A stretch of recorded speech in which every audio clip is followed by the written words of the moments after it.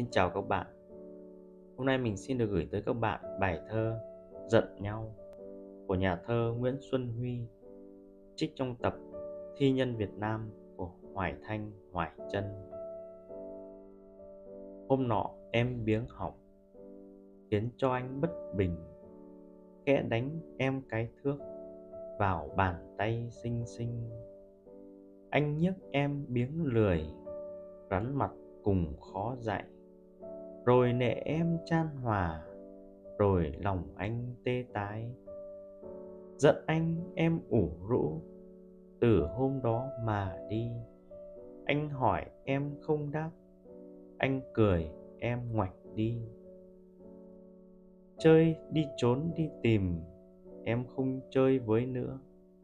Khăn đào em đang thêu, cho anh em bỏ dở. Hôm nay em đã cười nũng nịu đến xin lỗi.